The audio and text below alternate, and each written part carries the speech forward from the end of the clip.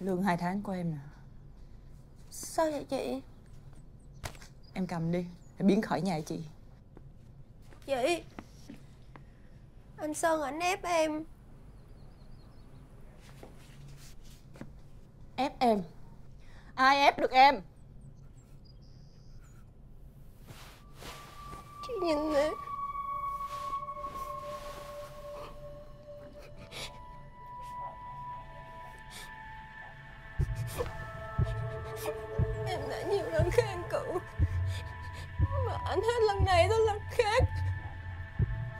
Nếu như mà nhiều lần, Tại sao em không nói với chị hả? Em không dám Chị nói thật là ngay từ lần đầu chị gặp em.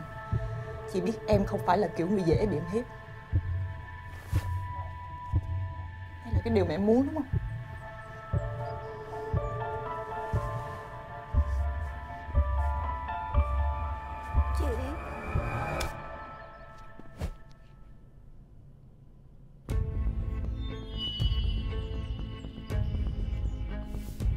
Ừ.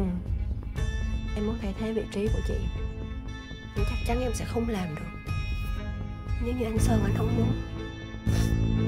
Một phút Dọn đồ ra khỏi nhà tao Đừng để sót một sợi tóc nào. Ok Dọn thì dọn. Nhưng mà chị ơi Nhớ giúp em là anh Sơn anh muốn em. Còn Bí thì cần em. Tao cấm mày đụng con của tao. Bây giờ xương cũng không quyền nữa nữa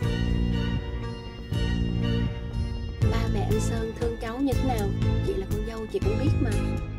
Ừ? Loại mà tàn tiểu với giá cho bắt vợ con. Cô chồng ta sẽ tự mạng